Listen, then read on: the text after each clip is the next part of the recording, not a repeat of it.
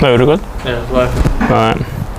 Welcome to the channel, everybody. Today I have this 2020 Peterbilt with an X15 engine, and the reason why this truck is here is because it's getting a manual swap, um, manual transmission. So in this case, from the factory, this one comes with uh, automatic transmission, Endurant, Eaton uh, transmission, and uh, today we are going to install a 13-speed manual transmission. Um, I I believe then that uh, could be a very common modification nowadays in this modern truck with these modern trucks because these trucks all are equipped with automatic transmissions, the majority. And if you want a manual transmission, any any truck that is be um, after 2020, you have to order it. Uh, 2024 right now, if you really want a manual transmission, you really have to go to a dealer and place an order and do all sorts of uh, um, petitions for a manual transmission, and it will take a while until it comes. Um, now, if you want a manual transmission, you have to do this. This is what I'm going to show you what you have to do if you want to install a manual transmission on your truck. And it doesn't matter if you have a Kenworth, Peterbilt, Freightliner, Volvo, a Mack or whatever other truck.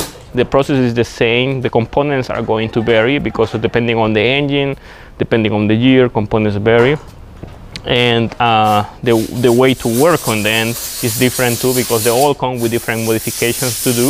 In this case, we're gonna base the work only on the Peterbilt, but it's going to be very basic for the other ones. So for that, uh, we're gonna start with the video. So um, first of all, uh, it's very important, and if you're really uh, thinking, you are really thinking to swap the transmission for a manual transmission, you have to be sure that you are going to spend a lot of money. It's not going to be a cheap modification. So don't expect to do this modification with $5,000, probably you will need more. And depending on the parts too, if you get brand new parts, it's going to be expensive, but if you get everything used, probably it's going to be a little cheaper, but still it's going to be a very expensive modification to do.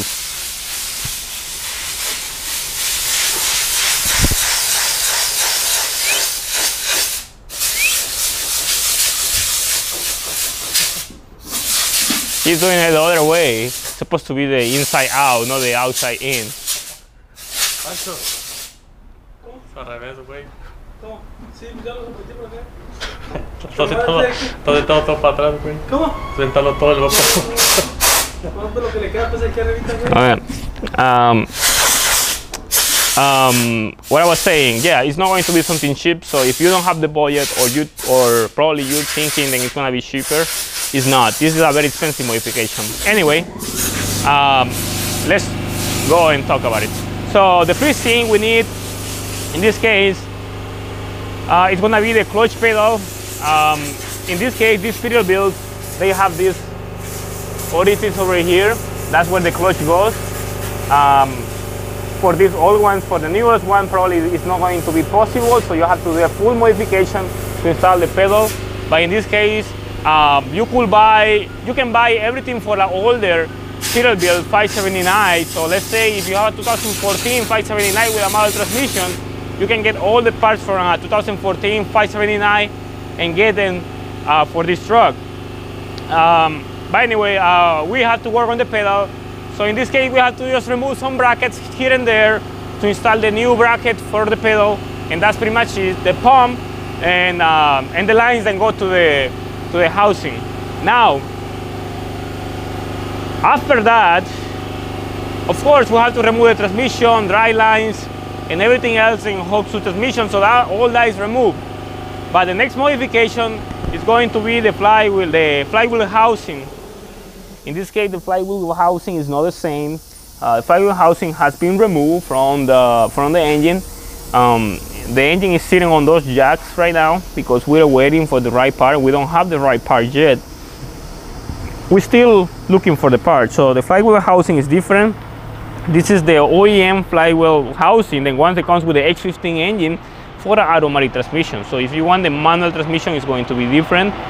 So the best way to get these parts is gonna be referring for any truck that has a manual transmission get the parts from a, a manual transmission truck and install it on, on, on the truck that you are working on and it has to be from the similar uh, year and the similar engine engine type. So in this case, we have a X15 a 2020, so we can get the big number of a 2020 KW or Peterbilt with a manual transmission. We, we can buy the housing. So that's what we are working on right now. We're still waiting for these parts. It takes a lot of time to do all this, so that's the reason why I say it's not going to be shipped because most of these parts are going to be ordered or something. The next step will be to get a 13-speed transmission. Um, uh, you can buy a 13-speed transmission anywhere. You can go to uh, uh, PTO sales or you can go to a dealer or anything they, where, where, they sell uh, transmissions and you can you, you can buy the whole transmission uh, it's going to cost you around uh, 4,000 to $7,000 depending you have, you, if you have a core or you are buying a brand new one with no core that, that price that price will vary. And uh, yeah okay yes uh, so $4,000 so, so uh, it, it, will vary depending on the price and also the location varies with the prices. Uh, the next thing will be then the dry line has to be worked on. The drive shaft is not going to be the same. Since you are adding more room uh, the transmission, the 13 speed, uh, the 13 speed transmission is larger in size, so the dry line has to be resized. So, um, this case, the dry line is still there. Um, we haven't get it uh, fixed yet. Um, it's still in the original form, OEM form. But once we get the transmission on place, uh, we are going to remeasure the differential, uh, the, the dry line, the drive shaft, uh, and then remeasure it, and then see what is the actual measure we need. Probably we can most. It's more likely than we're gonna need a shorter drive shaft. So it's a very common modification when you are adding a larger transmission to the truck. Um, another very important um, modification is going to be the differentials. In this case, we have other um, ratio on these differentials. So if you are using the differentials that are from factory, like let's say you have a, a 12 speed transmission and you want to use those differentials, it's not going to work the same. So the automatic transmission, they have different ratios, everything is different. So you be sure to get the right ratios. The only way to get the right ratios for your differentials, I mean for your truck, is going to be getting the 13 speed transmission for a specific truck, let's say a, a, a truck that comes with a 13 speed transmission, and then get the same differential from the same truck. So that way you have the full uh, uh, ratio matching. Because if you get a different ratio, you're gonna get more power and you're gonna get less fuel economy, or you're gonna get weak power and very weak uh, uh, fuel economy, and so many problems you can get with differentials. So it's very important that you replace those differentials. If you are thinking on swapping your transmission for a 13, 18, 15 speed transmission, it's mandatory. You have to get that in order to get the right uh, the right results. Otherwise, you're gonna get a truck that doesn't match the speed or goes faster and it doesn't have any power going uphill or simply doesn't reach a specific speed like some trucks they're gonna be reaching 65 miles per hour and then they won't go faster than that because the differentials are too slow. So those are the consequences of not getting the right differential. So that is something very important.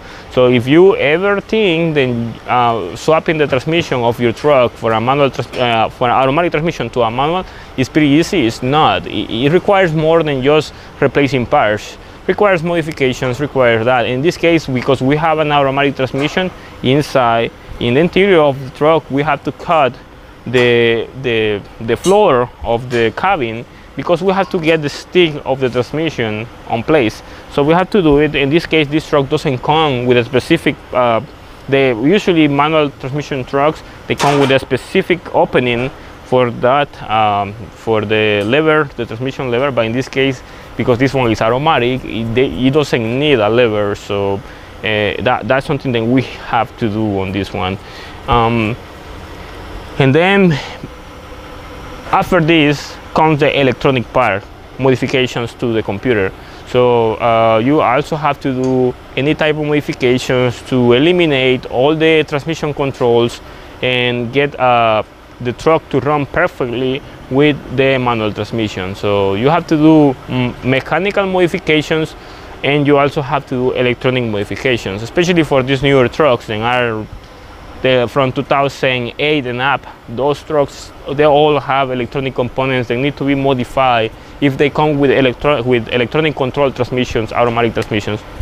But uh, um, but in this case, uh, that's this is still in the process and is not finished yet. But this is all you have to do to get the truck back on motion if you are thinking on getting a 13 speed transmission on your truck or a 10 speed or 15 it doesn't matter what type of manual transmission you're getting. The point is then if you really want to get a manual transmission truck on a manual transmission uh, on your truck you need to do more than just installing the transmission. You need to do more modifications to the differentials drive shaft uh, electronics and um, some parts of the body just to make the truck run fine. If you don't do it, you're gonna have problems uh, making the truck running fine, probably it's not gonna run well, or it's not gonna run at all, or, or you're gonna have other consequences.